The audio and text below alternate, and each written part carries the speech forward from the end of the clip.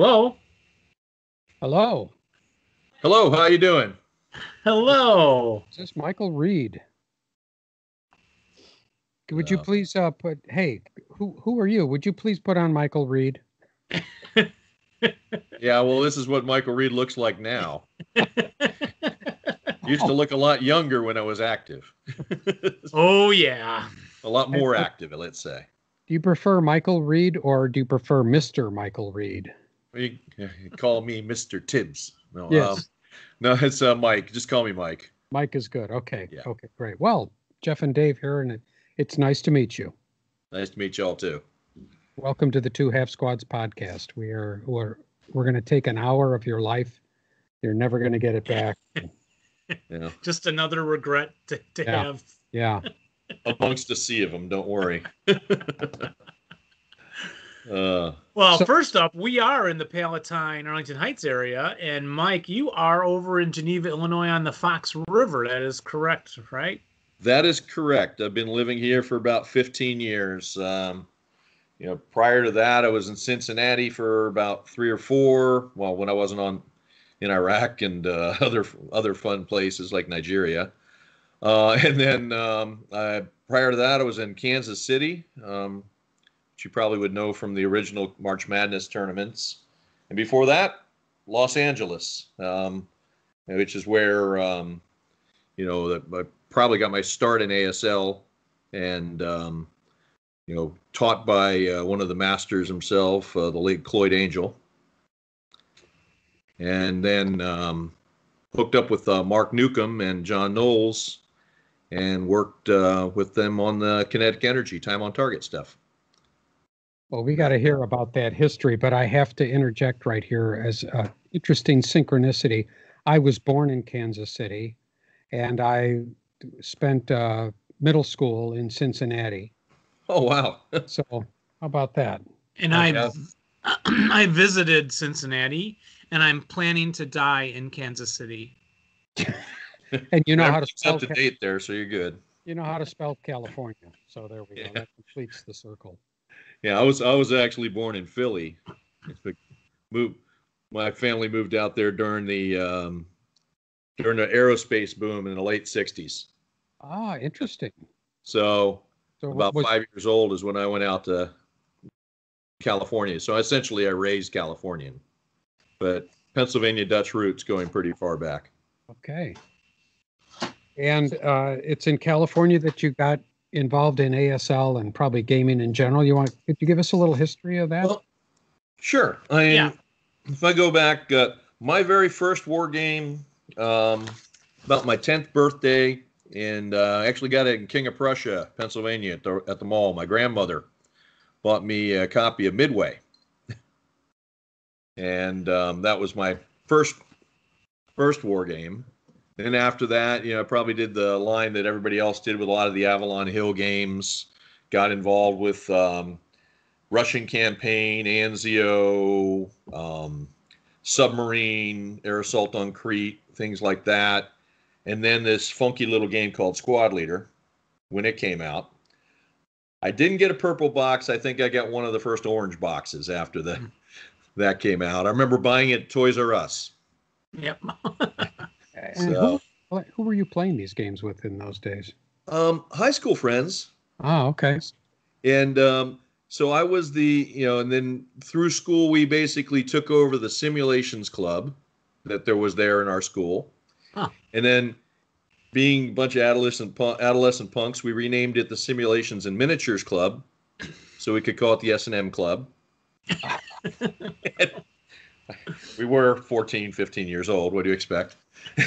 and That's exactly and expect. Yeah. and uh, we uh, we were able to get the home ec teacher allowed us to use some of those big tables, you know, that they would they would use for sewing classes and like that, and we we got to play in there during lunch periods.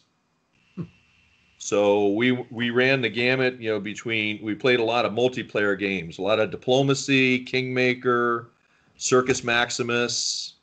Um, let's see, the old card game Nuclear War. I mean, Hmm. and we had a running we had a running battle and feud going on with the environmental club because of the the announcements that we would put in our bulletins of like nuclear weapons testing today and you know C2 and they would come in and protest us and then uh, next week we had you know horse horse flesh flaying and you know, for uh, for Circus Maximus um, then Dune came out and we got really big on that. Oh Yeah. yeah. and so um, yeah it was it was fun. And so i you know met a lot of lot of friends. I still have a few of them uh, left over. I think um, you know it's um, you, whichever ones i'm in touch with still from the, the those way back which is now 40 years ago 40 45 years ago somewhere in there. Yeah. and um, so went off to college and i went to uh, i went to west point. So i upped from california up to upstate new york. And upstate new york in this case being just 50 miles north of new york city. And um, when i was at west point obviously part of the job is to learn all the military stuff. But then there was a very healthy wargaming group there. Yeah, I'll bet. War- yeah, they had war games committee, um, and I got involved with that. And in that time frame, they had actually an active wargaming league amongst some civilian and and uh, well, they all they were all civilian um, colleges and like just local New Jersey, New York, Connecticut area wargamers. Hmm. So we'd alternate being able to host some of these events and these competitions, you know, and, and you'd play the games that were in there. Um, fast attack boats, the old Yaquinto game, um, NATO. Um, let's see what else. Um, oh, uh, Victory in the Pacific. So, you know, and then that's also where I was introduced to a lot of um, a lot of the um, SPI games because I had not really seen them out there. Hmm. So, learn, you know Ney versus Wellington. We had copies of uh, Wellington's victory, of which I do have one of those copies here. I wasn't able to abscond with the uh, campaign for North Africa's, but I think that was a blessing in disguise. Uh, but we used to be able to go down on leave sometime to the Complete Strategist in New York City. It's on 33rd Street, right near the uh, right near the Empire State Building, and we bought this neat game from Australian design company called Empires and Arms. Uh, That Okay. Napoleonic Wars, strategic level, and I almost flunked out of college playing that game. I, I, it's yeah, it's it's why I finished half you know 500 out of a thousand in my class rather than uh, much higher. So, So then, so then you graduated out of West Point, yes, and then so and I was I was I was commissioned in the uh, infantry, and um, spent a year down at um, Fort Benning, going through officer officer basic, ranger school, uh, Bradley fighting vehicle school, and then mortar platoon leader school. So if you Wow. ever seen my handle on like Game Squad like that, Fortus MF, that stems from my time later on as a mortar platoon leader. oh, okay, Um, and you know, so at you know, I was I've been involved. I mean, I could fill up a whole interesting story about uh, running the point cons at West Point uh, in '85 and '86, where we actually invited almost everybody who was anybody in the hobby to come free as a you know because we couldn't charge for the venue. We had a large ballroom and we invited Avalon Hill, the SPI people, Good Victory Games, Rapham, Ral Partha, Lou Zocchi, you know, and almost every one of them came. wow. So- We had we had um, Tom Shaw showed up with Jack Dott, and you know, and they wanted basically, you know, Tom Shaw was, was an avid uh, racquetball guy, and so he wanted to play racquetball in the West Point gym. So I set it up for him, to play there. Um, Mark Herman, Richard Berg, uh, Craig Taylor, Lou Zocchi showed up and played the saw at a dining in for us. Uh, so it was really neat that we got to see you know, all this. And this is right around 85. This is a little bit after Beyond Valor had come out. But something that very few people know is the debut for Streets of Fire was actually at our point con in 85 Oh, okay. that Tom Shaw brought up brought up a handful of copies and debuted and we sold you know sold them. So I got one of those original copies of that was sold sold out there of the Wow. brand new Dazzle. Um, sad to say for me because I was involved in you know more than just squad leader. I never locked on to advanced squad leader as a cadet, or even as you know when I was a lieutenant over over in uh, West Germany. It was after I came back in uh, 1990, and I was living back again in um, in Redondo Beach, El Segundo area of California. And there was an old club there called the Random War Gamers that met at the TRW building that was just south of the uh, Los Angeles airport. Uh, TR, it's now Northrop, but TRW, if you've ever seen the movie The Falcon and the Snowman, uh, Wow. the Timothy Hutton character was one. He was he was the one stealing secrets from there. Uh, Okay. So they're a government contract, but we we were allowed there, and there was a group of avid squad leader players that were always in the one corner. And did, did, did either of you know Cloyd Angel? no. No. Um, big, tall fellow, flat top, booming voice, and he would be sitting over there, and I would hear rally phase, you know, repair, recover, rally as he's wa- as he's stating his way through these things and uh, and teaching that. He was playing uh, Dan Plakta as a fellow I, I think is still somewhat playing in, in squad leader now, and then a few other uh, players that probably aren't, but. Uh, I decided one time, I said, you know, I've had this game sitting here for all this time. I really want to finally learn it because I, could, I played Squad Leader, I played Cross of Iron, I gave up it's Crescendo of Doom and GI, even though I bought them. and so him and Mark and John put me through the paces. Hmm. And I think my first s- scenario that I ever played against a live opponent was actually against Mark Neukom. I played Devil's Hill from the old tournament one. Yeah. And then I played a- A three-way scenario. It was still a two, yeah, of uh, the Cossacks are coming, where I had the group in the middle, and uh, Cloyd took one side, and Mark took the other side, and they just proceeded to wipe me out. but the nice thing was, as I was being wiped out, they were explaining how and why they were wiping me out. so that was the kindling of no, sorry, kindling's NA now, but uh, that's the kindling of my of my ASL um, you know career. That that that I don't recognize ninety percent of the names you dropped, but I Oh. can hear jaws dropping already when we when we post this show.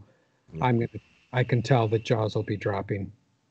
Yeah, Jeff doesn't go as back as far as I do. So I Yeah. you know, went up into my box that is not on my ASL shelf here because in my apartment I put in a giant plastic box um, all my third party products that were these newsletters and things. So I've got the fire for effects in there, the route reports, and these time on target things. And I have a very fascinating letter from Mark Neukom. Oh. apparently, I, I wrote him a letter. I still have this thing, 1995. Look at his letterhead. Wonderful.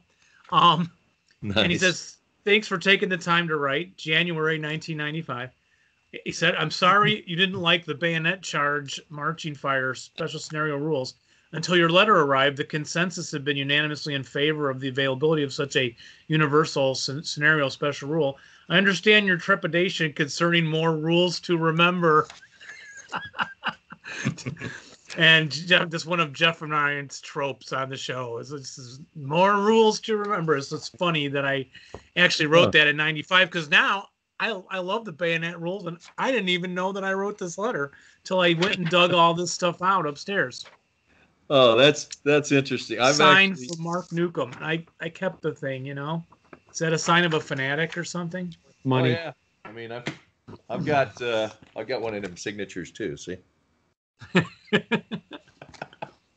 so were they your first then like connection with the the publishing aspect? Yeah, other other than having worked with um, you know at, at, at West Point doing a little bit of the convention running, um, that was my first really with uh, publishing on the on the board gaming world. I uh, I, I did at West Point meet a fellow who's very prolific on the miniature side of the world, uh, Buck Surdu. He's written a lot of miniatures rules and lines of that. Just you know, he he stayed in the service. Uh, I think all went all the way up into colonel. Was was doing uh, computer cyber cyber things like that. And when I had gotten out of the service before I got back into ASL, I uh, was involved in the Ancients, the W old WRG seventh edition. WRG seventh edition, yeah. And I- first minute. and I became I became the Southwest Group's um, leader, and we held tournaments there at the TRW and a few other places. And then for a brief period of time, I was uh, trying to remember whether it was secretary or VP. I think it was VP of the North American Society of Ancient Mid- Medieval Wargamers.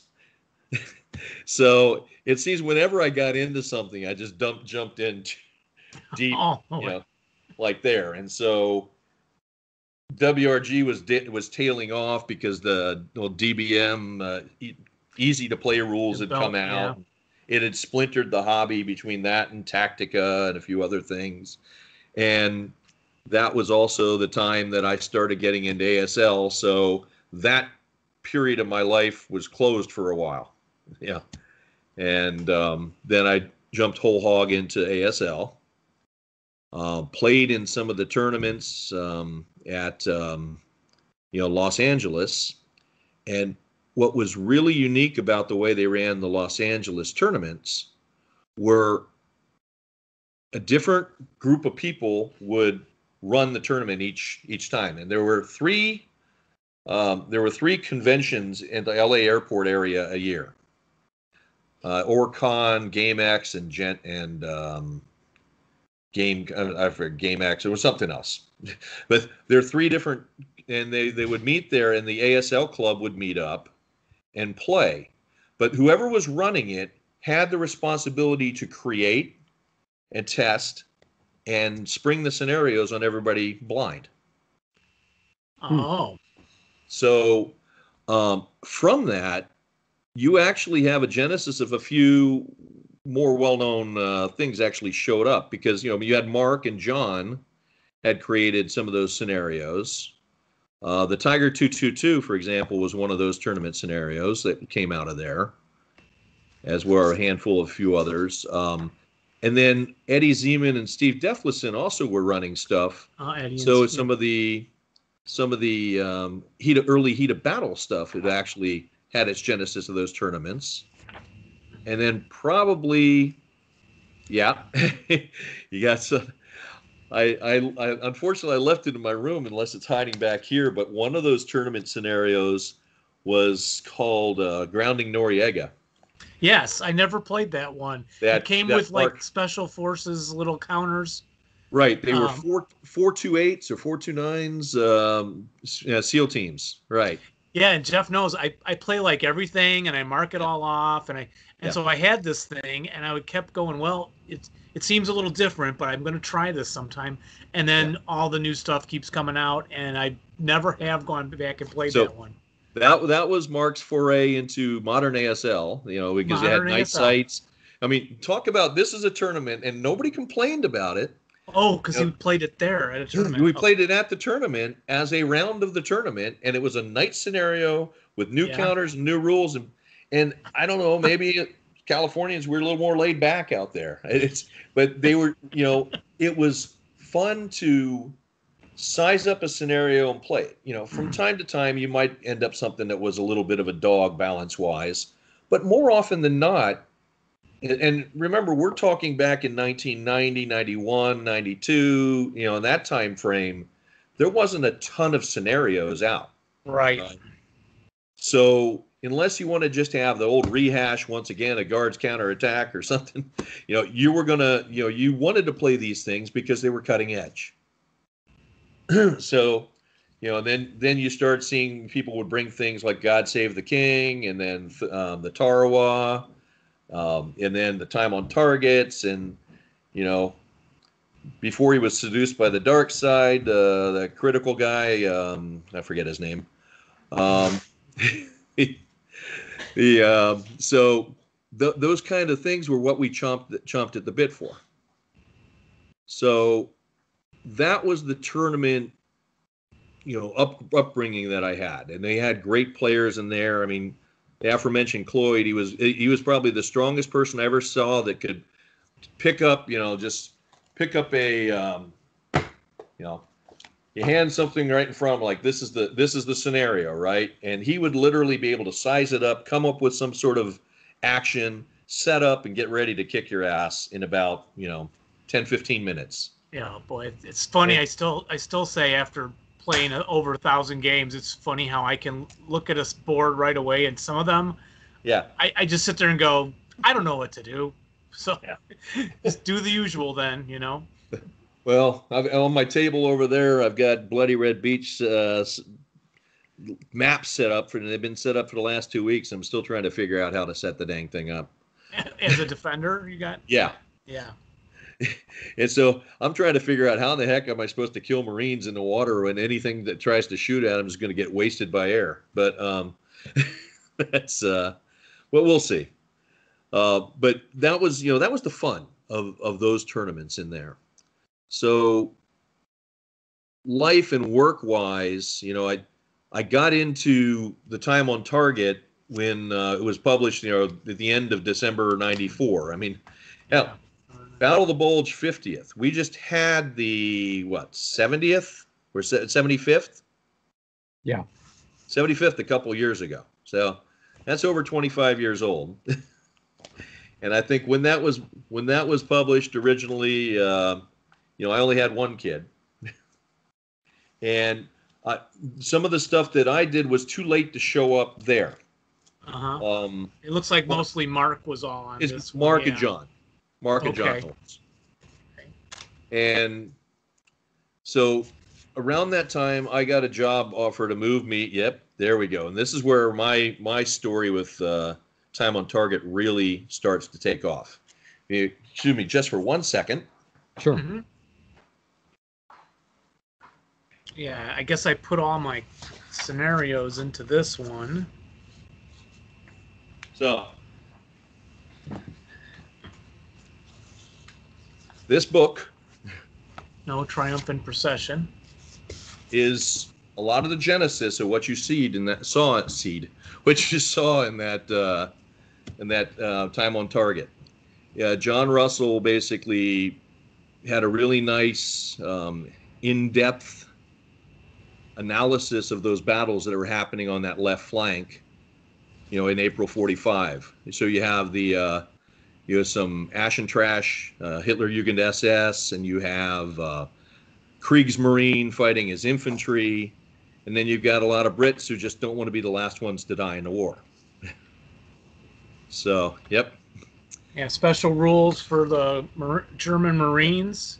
Yep. And I guess was this the first hasty uh, roadblocks ever?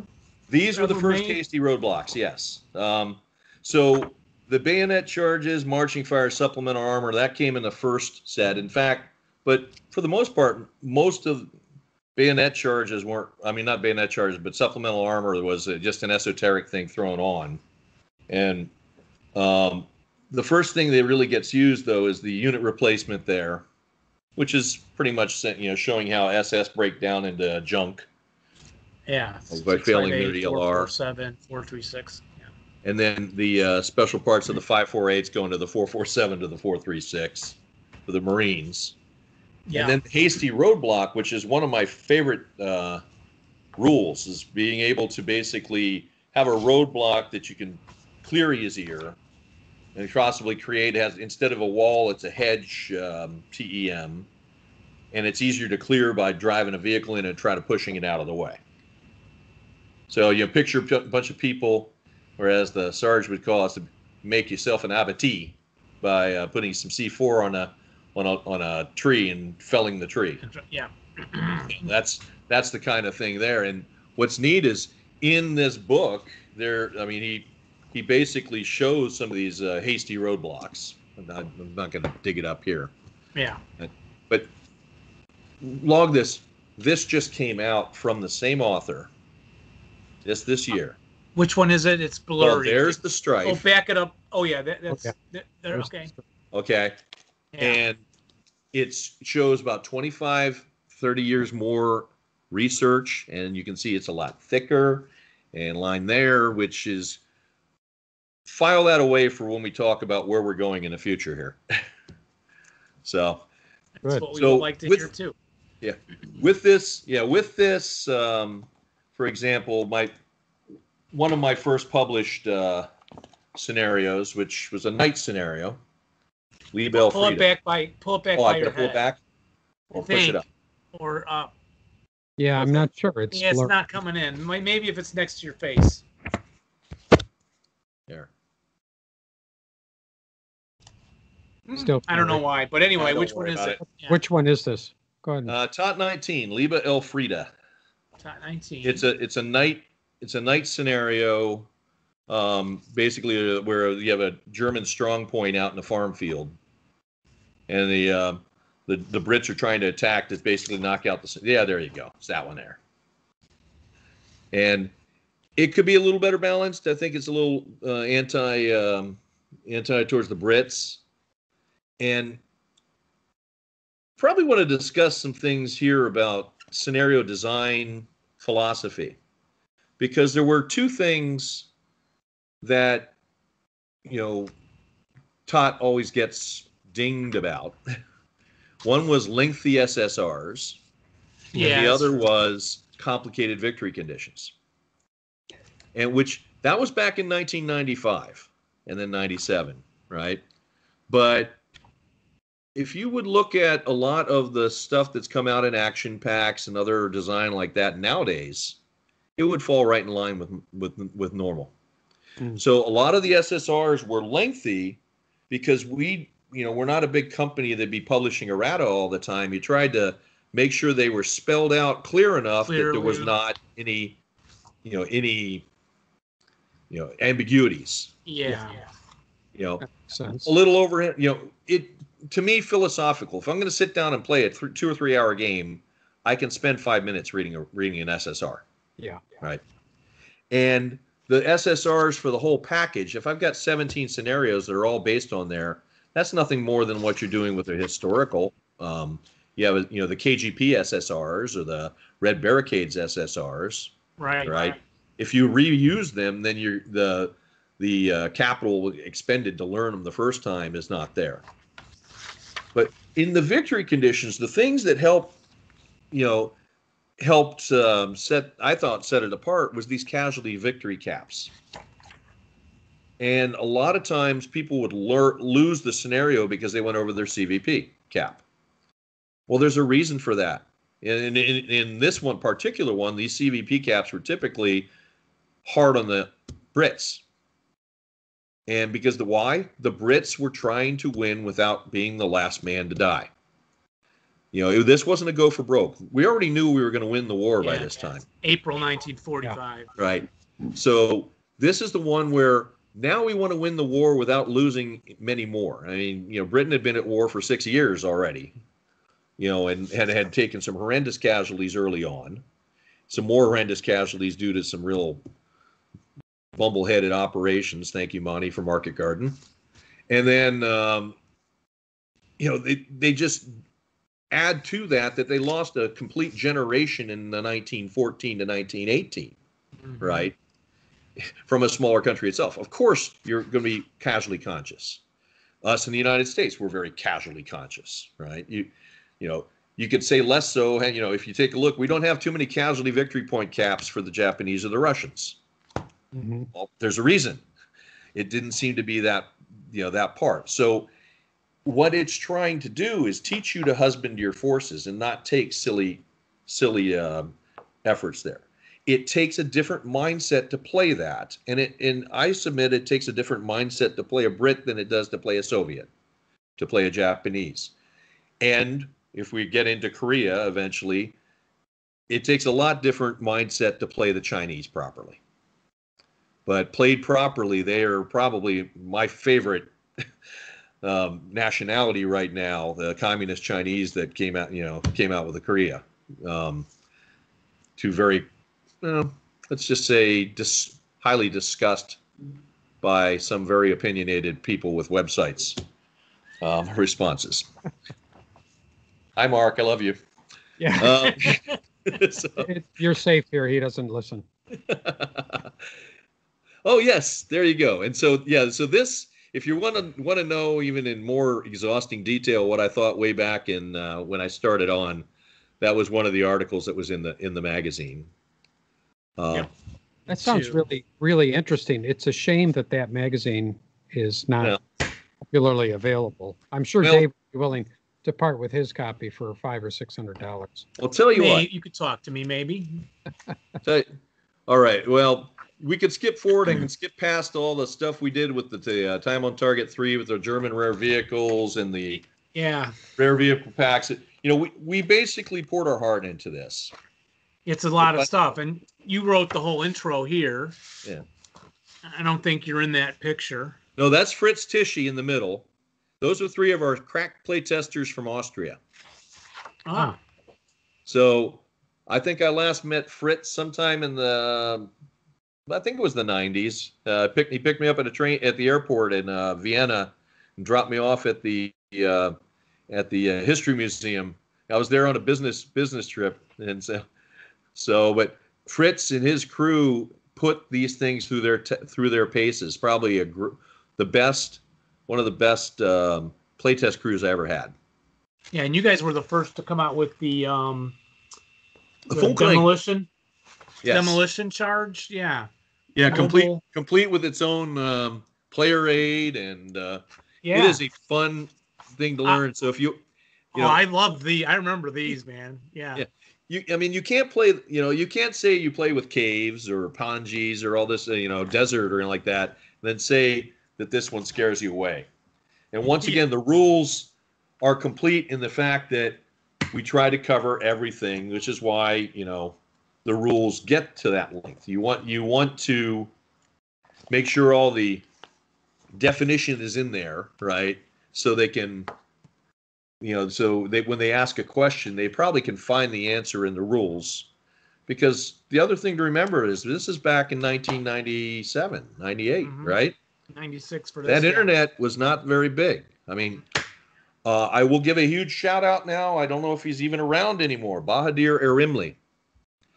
Um, he was he had a job at Caltech and had a Caltech um, account, which Caltech was big in the early days of the internet, and he set up a website for us with a for free, labor of love for him. You know, and Wow. and um, you know I lost touch with him over the years, but I did make sure that when uh, Korea was printed, that there is a UN leader counter of a Sergeant Arimli, because one of the things was is his grandfather was in the Turkish brigade that went over to Korea. so Wow. hopefully, Bahadir, if you're out there and you don't have far, Forgotten War, if you do get it, there's uh there is a counter in there. In fact, uh, Bahadir, if you're out there and still playing ASL, contact me. I, I, I can give you one. Of, I can give you a copy. It would be the least, of the least I could do, considering that how he helped us, you know, gratis, right on with with a website at a time that neither Mark or I were web savvy, and frankly, most of the world wasn't. but uh, Yeah, and then in this supplement, I so I think I have all the special rules for the vehicles. There were vehicle notes and everything for Right. some German vehicles, and then most of those were all put into the um, ASL by now, and did they're actually em- not. They're not yet. Okay. So if you would go through this, and So a few are right, like the Sturm Right. Tiger, but you don't have rights to those, so MMP could just do their own interpretation of it, right? yeah, I mean, there were this many, Yeah, I got them Right. somewhere. Yeah, I got and of that, I'm looking. You know, some of them, the Neubau Fahrzeug was never never put in. That was the uh, the early model that was sent up to. There was like three copies that were sent up to Norway. So you figure if we've got you know one one counter for each Finnish tank that was in the war. We could probably put the one, the three counters in for the uh, Neubau Fahrzeug.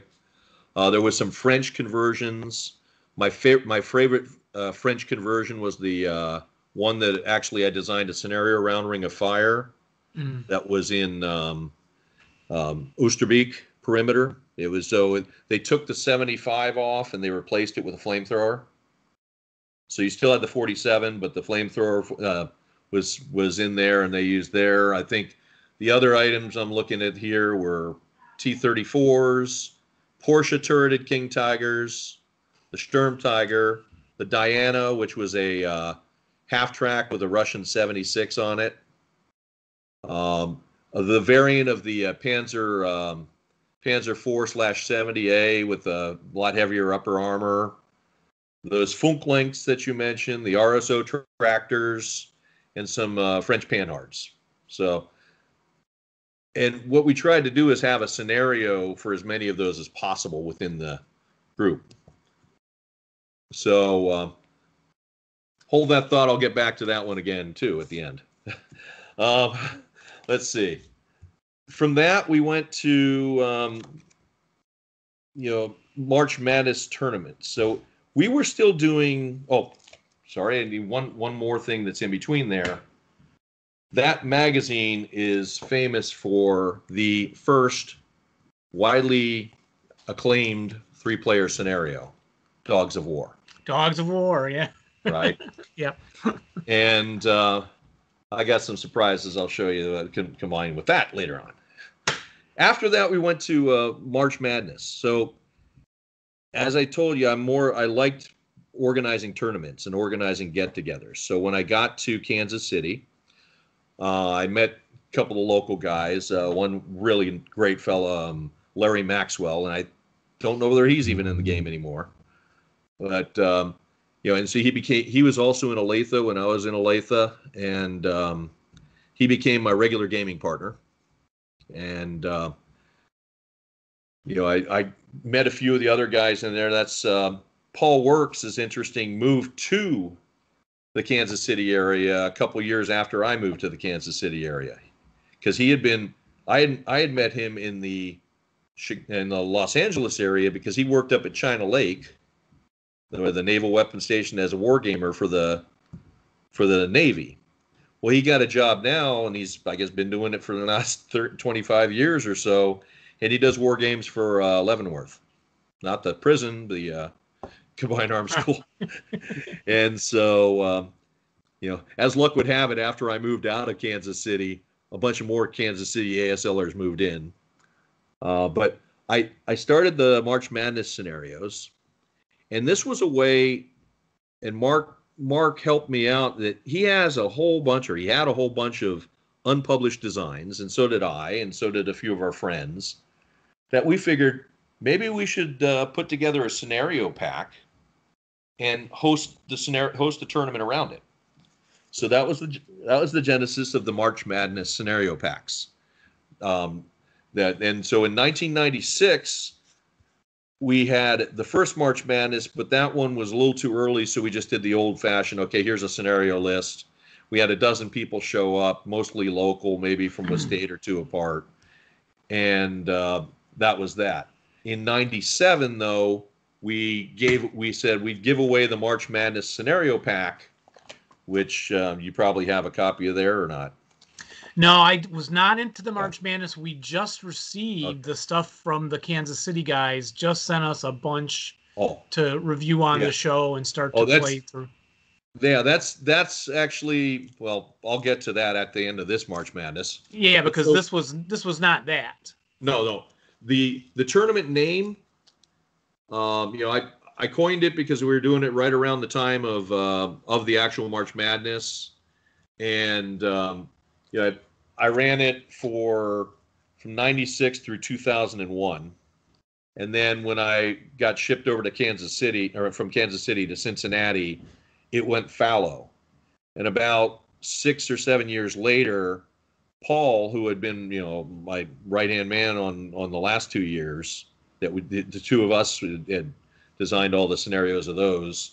um, asked whether these guys could resurrect it and use the name. I said, by all means. Oh, okay. That's So- all right. Cool. And they've they've gone on to bigger and better things since then. That's I mean, so the only thing that I have left in in that one was the original name. Okay. But so in this in this scenario pack, there was 12 scenarios, and one which was sort of cool is called the Dreadnought of Razanya, which was a multi-part scenario where the Russians have one counter, or technically two, a KV-2 with a uh, with a 9-2 armor leader, and then in, in four different parts played on this board, the the uh, Germans are coming in with ash and trash trying to knock out this single KV2. Cool. I mean, it's a it's a four part scenario, four or five turns apiece. The third the third part of it's at night even, but you can literally play this twice, you know, twice in about four or five hours. Yeah. You know, it's a fun little scenario. Um, we also resurrected um, Beyond the Pakfronts, the original first uh, Aslug scenario, and did a lot of play testing to get rid of some gaminess in the original version, and also to make the SSR or the victory sound victory conditions a little more understandable.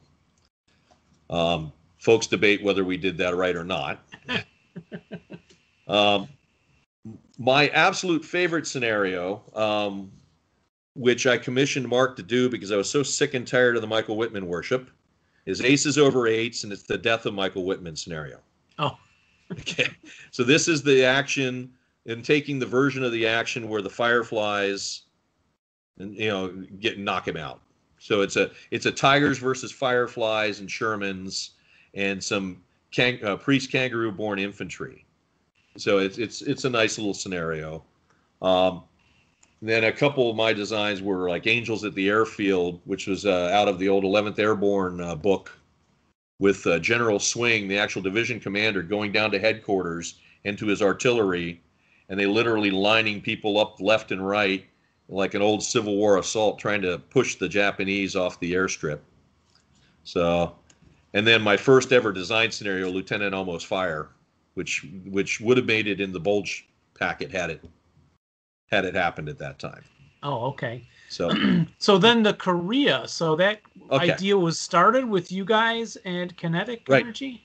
Right, kinetic energy, and we had the Korea scenarios, and um, so the Korea, the Korean War. You know, so we did we did the uh, allied allied Romanians and all that, but the Korean War had been sitting around for a while, and um, we we had worked and worked on it to create to make a a, a submission that would go to um, go to Avalon Hill, right around the time that Avalon Hill was taking a nosedive.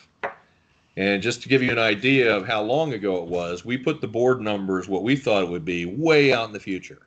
So here's like board 61, right? and board 62, et cetera. You know, some of this stuff might look a little familiar, but it's Uh-huh. not the exact same. Um, and so we went all the way up to board 66 of this. Okay. Yeah, because it had the the long and- mountain there Say on the side. It had the long hill on the side. half yeah the and so hill. basically you still had that this is probably one of my favorite boards right here and so if you catch those switchbacks here Yeah. Oh, yeah. yeah, but if you notice you know that um, instead of uh, a steep hill ssr what we tr- decided to use was uh, slopes since they were already in and tested in asl Oh, okay. so that was one of the hurdles that we were trying to fight with uh, getting a pre a, approval for was the fact of putting slopes in the real system itself. Everybody's afraid of slopes until they play with it, and then they like, why aren't we playing with it all the time? you know, it gets rid of that cupcake hill syndrome. Yeah. And so these are these are recent vintage printings of the of the original stuff. And we had a complete um let's see here. We had a complete um rule set built out most you know definitely fleshed out through the and we were looking to put it into two modules one that would have been the north koreans and the south koreans and the U, uh, us Then the second one would bring in the UN and the Chinese. Wow. So, so this was in an advanced state. Yes, I mean we had uh, there was a chapter H, there was uh, the boards, there were the counters, and there was a ton of scenarios um, that were built in this. So, um, you know, let's bring these up here. You can see some scenarios of that. And I don't know if you ever seen stuff from Mark Neukom. His his rough drafts look better than some people's full copies. okay, so um, so that was all created. We put an initial submission in. Um, it got sent to. Um, by that time, um, MMP had taken over the um, care and feeding of ASL on on on uh, Avalon Hill's behalf there were let's just say in one in one end some philosophical differences. Um, and long story short between the crash of AF, of uh, Avalon Hill and um, not time to work out those philosophical differences along with a complete shift of Avalon Hill from being pro hobby press to anti hobby press you know if you go in the annual 93B, Rex, you know, Rex Martin mm. talks about how great a hobby press is that, you know, creates additional content and all that and calls us to arms. Oh, right. And then, then they basically, yeah, then that was when the copyright issue, the copyright issue stuff all yep. started then, right? they tried to shut down or everyone had to change their counter art and all that kind of thing, right? Yeah, it, it, and it, it, it got dirtier than that. It not really dirty to us though but we were collateral damage in the main charge. How's it say on that? Yeah. Okay. Um, and so one thing had another, and yeah, so this is 98, 99. Because I remember actually playing an ASL Korea scenario with Klaus Malmstrom at ASLOK in 1998 or 97, I think it was. Tugok Seesaw, and it was a battle with Chaffees and uh, some tanks that is up up around that area on the Pusan perimeter, mm. and um, had a great time of it. But in the end, you know, it, it wasn't going to be. Um, we had done the '98 um, Allied Romanians, um, you know, pack for the March Madness '98, which is still probably one of the rarest packs out there where the uh, you had the counters, some chapter H, and this is pre Armies of Oblivion, if you recall. And um, we only gave it out at the tournament to people who went to the tournament. We wouldn't even yeah. sell it separately because we didn't want to run afoul of the you yeah, know new, the copyright. you should have seen the hate mail I got. I swear. For I want one of those. Refusing to sell to people. I was there. Were there was you know some folks and and the bribes were great. I mean, they they were they wanted to like they were wanting to you know go overboard on a lot of this stuff, but you know we we wanted to not be sued first of all, and so but two we did, wanted to get the ideas out there. And did this part of this Korea stuff get into the MMP stuff or no? Long, I'll, I'll I'll get to that in a minute. Okay. Yeah. So this was in 99 we republished some of our old scenarios in the March in the March Madness 99 pack, sort of like a best of, and we but we didn't just republish them like some unspoken New York publisher does. Uh, we pulled them back, we replay test them, re retooled them to try to make them better scenarios because they were popular or favorites, but they had balance issues. So we retested them and came out in full color. You know, to to, as part of that package. And then on the weekend, the weekend of the tournament, unannounced, we also threw in what we had been working on as a British Rare Vehicles pack with a couple scenarios, and handed those out. Followed almost immediately by a "We are ceasing operations" uh, mail. Lots of reasons behind it. Burnout was definitely one of them. A lot uh, of work. Rest, uh, uh, the rest really remained personal. You know, it's um, you know, it was, and um, so it became the long dark winter, I guess, of uh, of my ASL involvement after that point. I, but to to be fair, what I two things I wanted to make sure would still happen. One was that eventually a Korea project would get done, and B that Mark's copyrights would be um, would be um, honored. You know, he didn't want to have anything you know published or just out on the open market or pirated and have other people gaining money from it, etc. So for years, I would basically keep tabs on making sure that people weren't pirating stuff and sending it out. You know, the um, but when it came to Korea, you know, I've got on the shelf over there. I don't see if you can see way against the wall. There's a that shelf. Those the full bookcase is uh, is Korea books, and so I'd done a lot of work on Korea, obviously in the old the old uh, scenarios, but because of worrying about the IP, everything I just showed you there, I literally closed the book on Hmm. and wanted to start from scratch.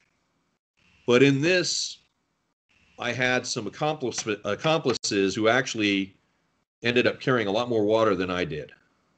Paul Works, who I mentioned before, and Ken Katz were the first two on the board.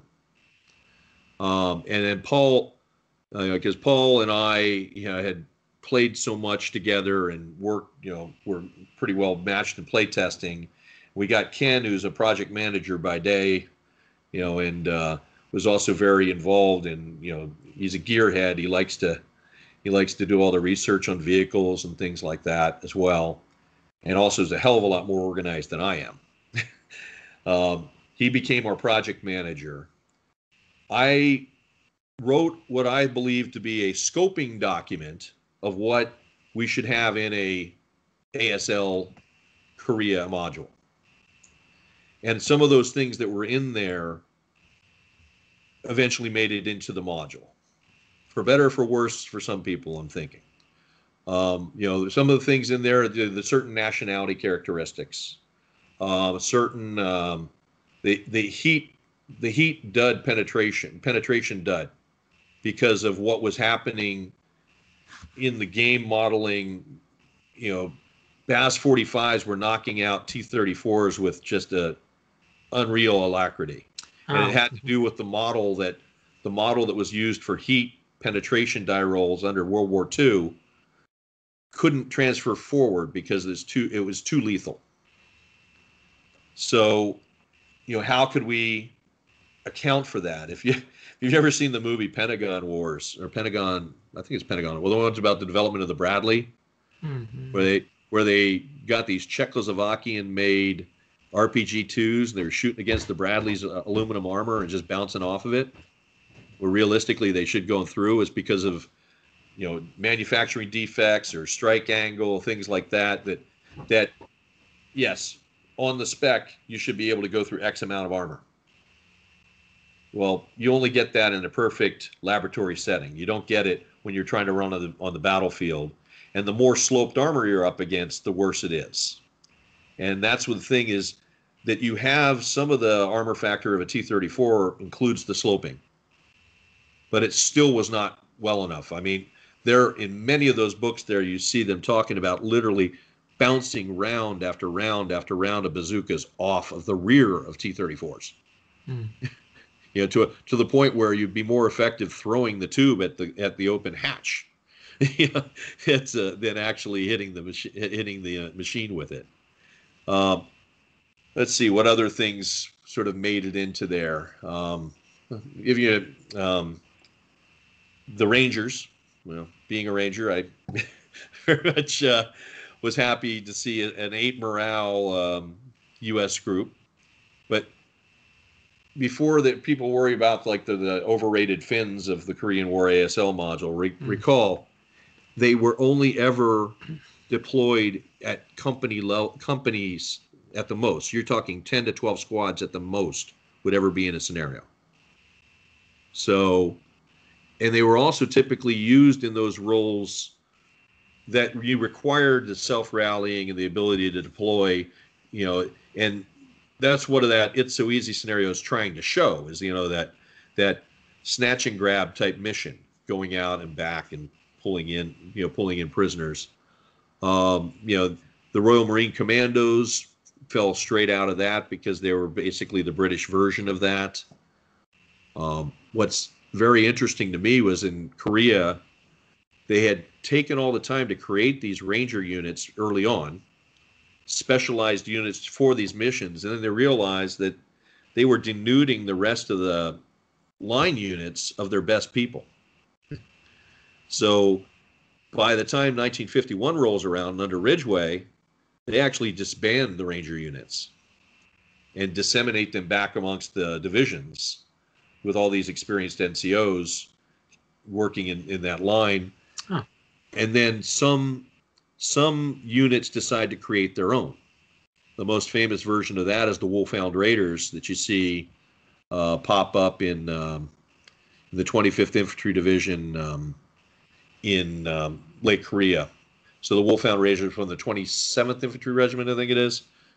Uh, David Hackworth, who wrote the book about Face, and he was a three a two war um, hero. Um, he actually was one of the early early adopters of the Wolfhound Raiders. So those those squads can still be used in that role.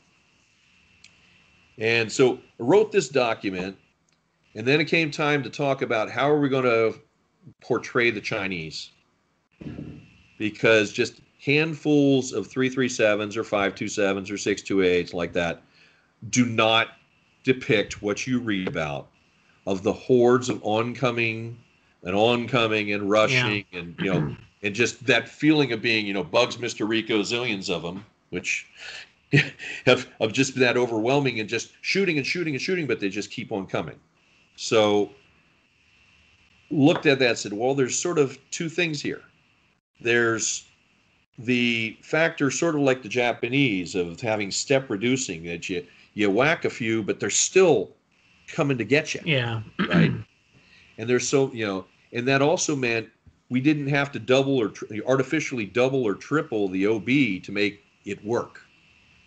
So the OB matches closer to what you read on OBs in the books. Okay.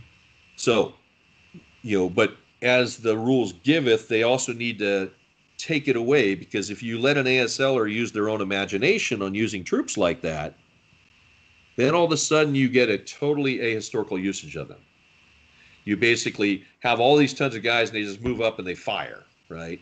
Or they move, or they, uh, you know, they individually infiltrate and move through and get to the around the sides, and there's no way to stop them. Yeah. We, we didn't want the Japanese repeated. What we wanted was that uniqueness to be done there. So that's why you see a pseudo command control type rule with the the the, uh, the uh, platoon movement so the infantry platoon movement. And then the saying saying if you're going to going to basically prep fire, if you're not leader directed for prep fire, you're halved. To just it doesn't eliminate the fact that you can do it, but yeah. it discourages you to do something that's really a, against the way that the army's doctrine was. Yeah. Without hamstringing you to do that. So in order to do this, this takes this little this is the this is the speed bump that a lot of ASLs are hitting right now is to understand that you can't fight them like you fought the Japanese, the Russians, you know, even the World War II Chinese. You've got to develop the strategy that gets the most out of what you have within that's given to you. Leadership was uh, one leadership was one thing that we were dinged for because we didn't have anything higher than I think a minus one leader, might have been one or minus two leader but they got commissar capabilities the political officers without shooting them if they if they fail. If they don't fail, yeah. If they fail, right. yeah. And the other thing is they're more they're more interested there for the command and control, being able to do the platoon movement. They're not meant to be there for fire and just this whole the whole um, psychology of the volunteer army and the rank structure is not what you saw in a traditional Western rank rank structure. And what's what surprises me is people were getting on our case for that, nobody got on the case of the Finns for having the minus ones. Oh, You know, right, right. And know, that the bunch of, different bunch of O's, yeah. yeah. It's and so all right. Now are is there a little bit of care you know characterization or stereotyping? Yes, but there's that in every nationality characteristic of ASL. That's why we play the game. We know that the Brits don't cower. We know that the Americans will you know, duck their head down, but then when they come back up, they blast the hell out of you, right? And we know the Germans are pretty much balanced across the line. That's, that's and you fight those three armies differently. It's the same thing in Korea. So here in Korea, what you're looking at is learning how to fight with new, you know, with new troops. And even the North Koreans don't just fight like Soviets, even though they're very much Soviet trained. That you learn how to fight on the train, and you learn how to fight with the what fight with the uh, troops. So it's like the PTO all over again. We hope it's not like the desert for people. We hope it gets a little bit more traction than that, and as scenarios are coming out. But I did hop out in the middle of things there. Following that that original um, that original um, oh, um, scoping uh, to use Jerry Maguire's term, right? It was a mission statement. As at, after that, Paul and Ken took that and ran with it and actually wrote the rules around that. Okay, because we Yeah. did interview Ken in episode 187, I think. Yeah, so Yeah. people can hear that there. Right. So then and as they wrote gets- that. I originally had been working a little bit with Don Petros to get some uh, boards done, but then I believe uh, Ken Ken had some boards redone, and those are the ones that end up in the modules. I still got the ones I showed you earlier from Mark, and I got the ones from uh, from that around. So maybe someday. And then at that point, I got s- I got sent on the road a lot. Started about 2002, 2003. I was on the road pretty much until uh, COVID hit. Frankly, it's uh, and I've I faded further in the back of this, and then a few other people got onto the projects. Uh, most notably, uh, Pete Dolan and Andy Hershey. Oh, hmm And so they eagerly helped carry this through. And so in the end, you know, you got the group efforts of five people. You know, it's it's it's kind of sad for me because a lot of my original stuff that I'd done was in the early early days. And then, you know, the the lion's share of the really tedious work was the other guys.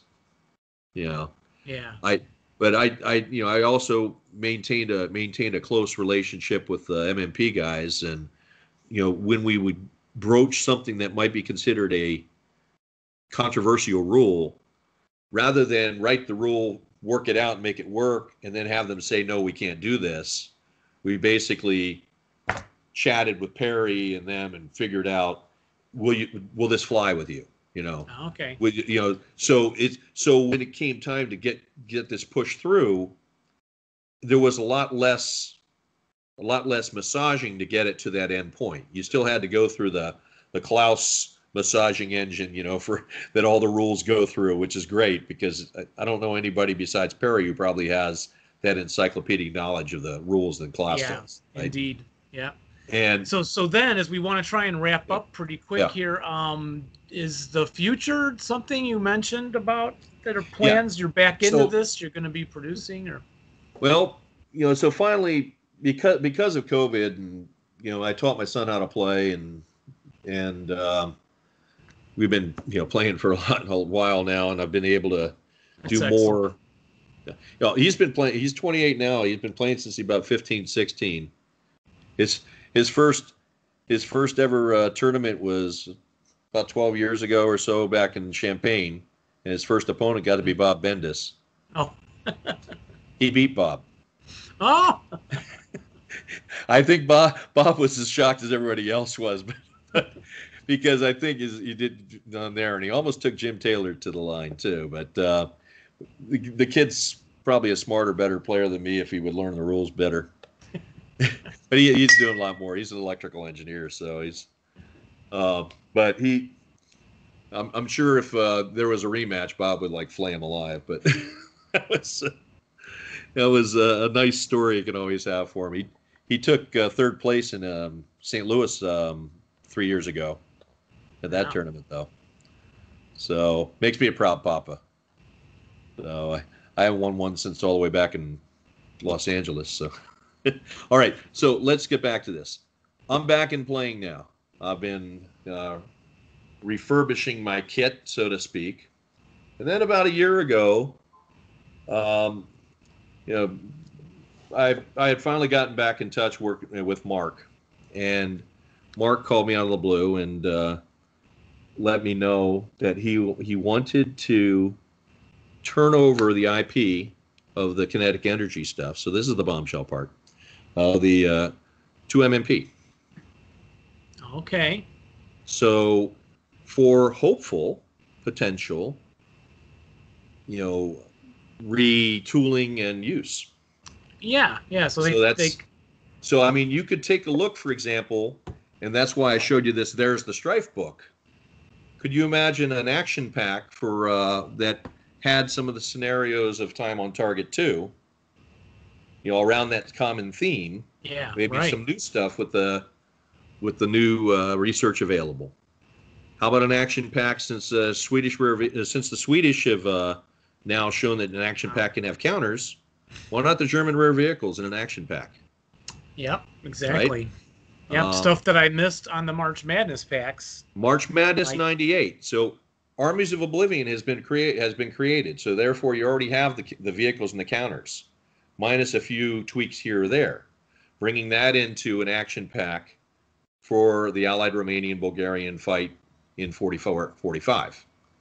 Um, some of the stuff that's in the March Mad- regular March Madness packs, or even maybe in the Bulge, you could pepper through in annual scenarios, things like that.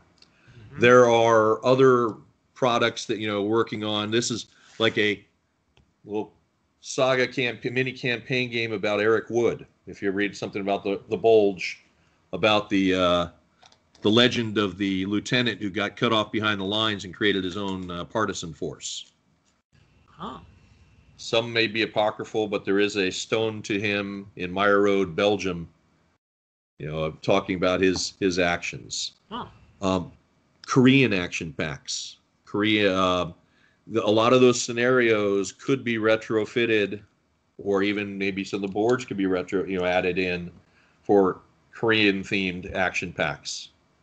It's been my long desire to do a uh, Heartbreak Ridge campaign game Ah, yeah.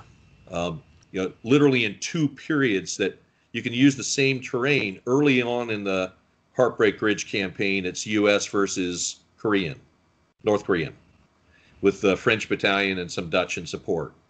Later on, after the North Koreans have been ex- exacerbated, you know, uh, um, attrited down, they're replaced by Chinese. So you could actually have the two different phases of that campaign that game. same thing. Yep, all played on that. And- yeah.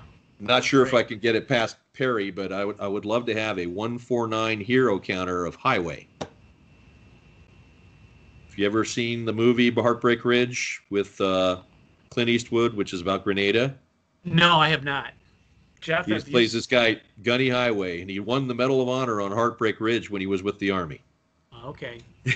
It's uh, it's, it's completely completely uh, fictional, but it'd be Why nice not? to have the counter name with Wouldn't it. be the first time. Yeah.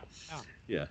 So uh, you know, it's you know, hopefully I'm not boring you here, but Well, we're, we will wrap up. It's a, we try to go get a show about an hour. It's, but it sounds like we've covered about everything yeah, that you've had to share. So that's been an excellent interview Yeah. um, with stuff to look forward to, of course. Uh, Yeah. It's good to know. so help me, yeah, help me pester Chaz, help me, help me pester Chaz, you know, to, Yep. to see to see what we can do to uh, accelerate this, and hopefully I'll be able to uh, work with some folks. Um, let me show you one more neat thing I got. Some Chapter H What's in there? cards Oh, yeah, yeah. On the vehicle cards. and big blown up scenarios. Oh, Oh, to be played on big foam core boards that Ah, are ha- halfway in between um, halfway in between um, DASL boards and regular. So most importantly, okay. let's pull this one out. The Dogs of War. Oh yes, that is the board with the graveyard out there. Yeah, in the building there. along with It's the three-player one, Jeff. I think you played. Maybe you played a different one than that one. Yeah, this was this was something actually that I got as a present from Mark Oh, as a, as like if I were to you know if I were to if I were to do something really special as like a demi deluxe you know so half deluxe if, if you notice each one of these boards is half is half a board Yeah. Right. so so you have a half board with the enlarged counters which works really nice and so he he built some of these up and i'll take if i can if there's going to be a real ASLOK this year Yeah. or if not this year maybe next year i'll bring these things and people can use them and play with That them would be fun. Yeah, Yeah. indeed. so, but you know, the nice part was that um, you know that you know hopefully the long slumber and absence from the hobby of the KE scenarios and access to them is you know is nearing an end. Yeah, I think so. And What- MMP has been doing some of that, getting a lot of this stuff Yeah. uh, back into circulation. Right. I mean, I, so I you know I'm hope hoping that uh, we can get we can get something out because there's a whole generation of ASLers who have never seen Oh. our stuff. exactly right. Yeah, that stuff, like Jeff, yeah, like me. And the young people, like Jeff. Yeah, and so it you know it, it it'll bring it out to an audience and what surprised me is that a lot of the things that were cutting edge back then are still are state of the art today. Yeah, so i'm happy with that the artwork and so now it's more going to be a fact of making sure that some of these scenarios still still agree with what the way the rules have evolved oh, in the last 20 years. Yeah, we'll play test them. maybe some play testing for balance and like that but you have a large portion of people that that you know would want to do that. Hmm Yeah. and then be able to uh, maybe release some of these things in um, action packs. Because as you see now the action pack seems to be one of the cool ways to go through there. I could also see turning the TOT 2 into if not an action pack maybe a historical study along the Yeah. lines of veritable and uh, lines there so Right. Yeah. Great All right. Well, it's been Yeah. great talking with you, getting to meet one of the legends of the game, and Absolutely. want thank you for giving us your time. well thank thank you i hope we don't bore the bore the folks to death Yeah. well Yeah, I People was- will love it. It's a, a great mix of the history, background stories, and a look into the how things develop and a look into the future. So Yeah. we want to thank you very much, and we will sign you. off. And uh, we like to say, uh, "Roll low, everybody," and rally well, but not Yep. when you're not when playing. you're playing us. So, yeah all right, thank you, Mike. thanks see y'all Have a great Bye. one. Bye bye.